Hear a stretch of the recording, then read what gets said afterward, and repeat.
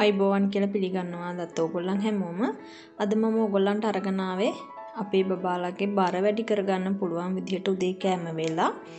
ඉතින් බර වැඩි කරන දේවල් කීපයක් එකතු කරලා තමයි මම මේක හදන්නේ.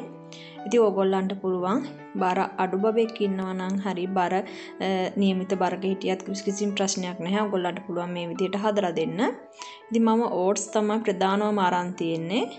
මම මේ ගන්න ප්‍රමාණ එක පහලින් දානවා. නමුත් මේ ප්‍රමාණය ගොඩක් වැඩි එක බබෙකුට දෙන්නෙකුට හදනවා නම්. මොකද මම ගෙදර හැමෝටම හදන නිසා වැඩි ප්‍රමාණයක් තමයි අරන් තියෙන්නේ. ඊට පස්සේ ඕට්ස් ටික මම බ්ලෙන්ඩර් කරගන්නවා. ඒකට එකතු කරනවා පිටි. පිටි එකතු කරන ඕගලන්ට පුළුවන් රුලම් පිටි එහෙම නැත්නම් කඩල පිටි ආට පිටි මේ වගේ පිටි වර්ග එකතු කරගන්න. ඊට පස්සේ බිත්තර එකක් බේකින් පවුඩර් බේකින් සෝඩා එකතු කරලා මේ ටික මේ ඔක්කොම බ්ලෙන්ඩර් කරගන්න ඕනේ. ඒකට මම කෙසෙල් ගෙඩියක් කපලා දානවා. ටිකක් ලොකු කෙසෙල් ගෙඩියක් ගත්තේ මම මේ ගත්ත ප්‍රමාණ අනුව. ඊට පස්සේ කිරිත් මම මිලිලීටර් 250ක් අරන් තියෙනවා මේ ගත්ත ප්‍රමාණයට. ඉතින් මේ ඔක්කොම ටික හොඳ ක්‍රීම් එකක් වගේ වෙනකන් මෙන්න මේ විදිහට බ්ලෙන්ඩර් කරගත්තා. මේ තියෙන්නේ මම හදාගත්තේ මිශ්‍රණය. ඉතින් ඕගොල්ලන්ට ගෙදර හැමෝටම හදනවා නම් මේ ප්‍රමාණ ප්‍රමාණයක් ඇති හතර දෙනෙකුට විතර නමුත් එක බබෙකුට හදනවා නම් කුඩා ප්‍රමාණයක් ඕගොල්ලන්ට හදාගන්න වෙන්නේ. ඊට පස්සේ පෑන් එකකට බටර් ටිකක් හෝ තෙල් ටිකක් ගාලා මෙන්න මේ විදියට හදාගත්ත මිශ්‍රණය අපි ටික ටික එකතු කරනවා.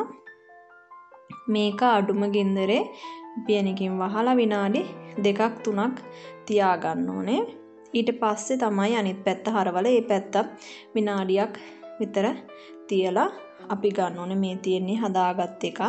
මේක ඇත්තටම රසයි උදේට ඕගොල්ලන්ට පුළුවන් බබාලට මේක මේ විදිහටම දෙන්න පුළුවන් මම සීනි එකතු කරලා නැහැ. කෙසෙල් වලින් තමයි පැණි රස අරන් තියෙන්නේ. ඉතින් ඕගොල්ලන්ගේ බබාලට පැණි රස මදි කියලා හිතනවා නම් ඔයාලට පුළුවන් අවශ්‍ය නම් සීනි එකතු කරගන්න.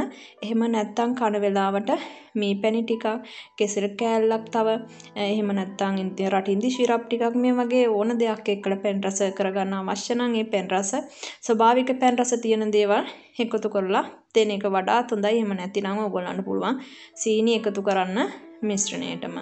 එතකොට ටිකක් වැඩිපුර පැන් රසක් එනවා. ඉතින් මේ තියෙන්නේ මම හදාගත්ත පෑන් කේක් ටික ඒත ඒ මම ගත්ත ප්‍රමාණය. ඉතින් ටිකක් වැඩිපුර හදන් තියෙනවා. හරිම රසයි මේක.